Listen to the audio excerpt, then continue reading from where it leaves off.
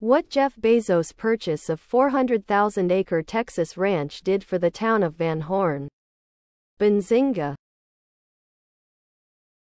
The arrival of Jeff Bezos' Blue Origin has turned the once sleepy West Texas town of Van Horn into a burgeoning space industry hub.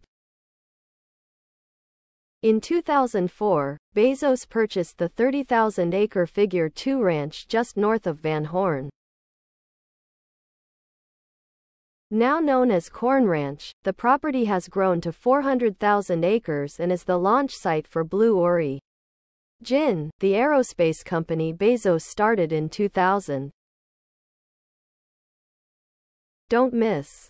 This billion dollar fund has invested in the next big real estate boom. Here's how you can join for $10. Can you guess how man? Below are your comments. Blue corn chips with ranch dip. What until the plant closes down?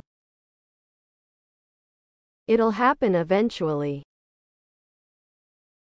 I bet their children can't afford to live there once they are adults. Only tumbleweeds like living in Van Horn. The economic boom is like Bezos' rocket, a quick rise follows by a long refractory period. Makes their day. Wherever Van Horn is.